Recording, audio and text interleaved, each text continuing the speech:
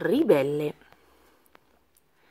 La giovane principessa Merida è figlia di re Fergus e della regina Elinor e ha tre fratelli, i gemelli Harris, Hubert e Hamish. Elinor pensa che una principessa dovrebbe imparare la musica, essere elegante e garbata, ma Merida è una ragazza vivace. La principessa adora cavalcare nelle foreste con il suo cavallo, Angus, ed è bravissima a tirare con l'arco. Un giorno Elinor dice a Merida che presto dovrà sposarsi. I giovani di alcune importanti famiglie hanno chiesto la sua mano, ma Merida non vuole un marito. La principessa dovrà sposare il vincitore di una gara di tiro con l'arco e solo il figlio maggiore di ogni famiglia può partecipare alla sfida. Ma quando uno dei guerrieri fa centro, Merida esclama Io sono la figlia maggiore della mia famiglia, parteciperò alla gara.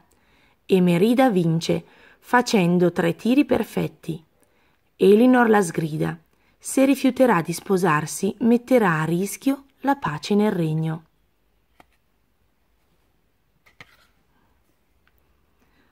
Offesa Merida squarcia l'arazzo di famiglia per separare la sua immagine da quella della madre. Io non sarò mai come te, grida. Poi, piangendo, la principessa fugge dal castello e raggiunge un luogo misterioso dove vive una strega. Merida spera che la strega possa aiutarla con la sua magia. Se mia madre cambiasse, tutto sarebbe perfetto, spiega alla donna. La strega sorride perché sa come aiutare Merida. Basterà che assaggi un dolce magico uscito dal suo calderone.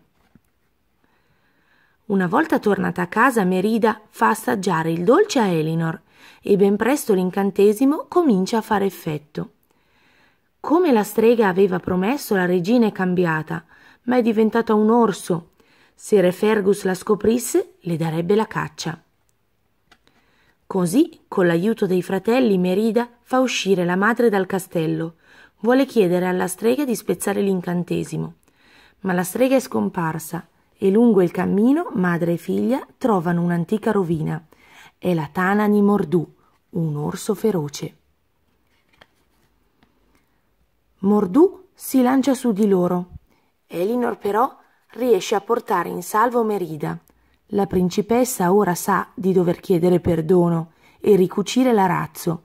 Spera così di spezzare l'incantesimo. Anche Elinor ha capito di aver sbagliato.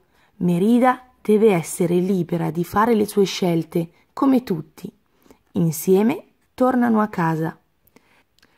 Ma al castello le due si imbattono in Re Fergus, che sguaina la spada e fa fuggire l'orsa. E i guai non sono finiti.